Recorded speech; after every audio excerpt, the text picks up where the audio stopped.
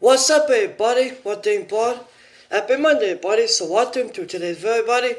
So, if you watched the Money in the Bank pay-per-view yesterday, guys, um, I watched the Money in the Bank rider match, but I didn't watch the other matches. I watched the Money in the Bank rider match. It was good.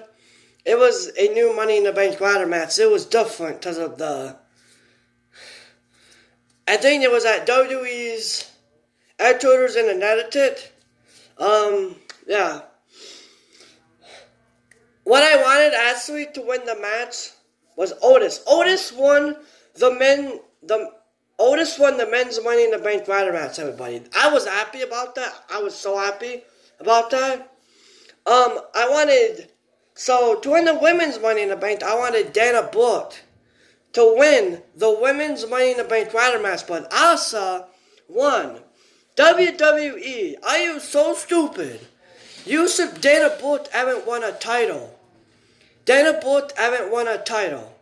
It should have been Dana Brooke or Lacey Evans or or Nia Jax or something like that. Yeah, so that's just WWE is crazy right now. That's just, that was a dumb pit. WWE, you won right there. So it should have been Dana Brooke who wins the women's Money in the Bank ladder match. But now it's Asa, and I'm really disappointed right now that WWE writers and Vince McMahon did it on purpose to make people angry. Dana Brooke should have won the Money in the Bank ladder match. But that's fine with me. Um, yeah. So, guys, so if you saw yesterday's Mother's Day video, that was nice. Um, uh, it's a little bit. Um, I said I was gonna take today, Tuesday, Wednesday, Thursday off.